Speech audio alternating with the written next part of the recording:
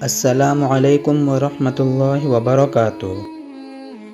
حضرت ابو حریرہ رضی اللہ تعالیٰ عنہ بیان کرتے ہیں، نبی کریم صلی اللہ علیہ وآلہ وسلم سے عرض کیا گیا، جمعہ کے دن کے نام کی وجہ سے تسمیہ کیا ہے؟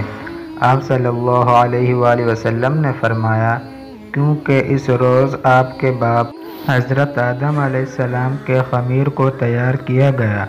اسی میں نفخہ اولی، پہلی بار سور پھونکا جانا اور نفخہ ثانیہ ہے۔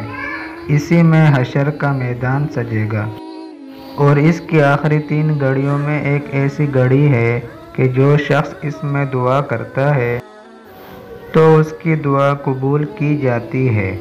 سبحان اللہ۔ دعا ہے اللہ تعالی ہمیں اس جمعے کے دن کی فضیلتوں سے فائدہ اٹھانے کی توفیق عطا فرمائے۔ آمین۔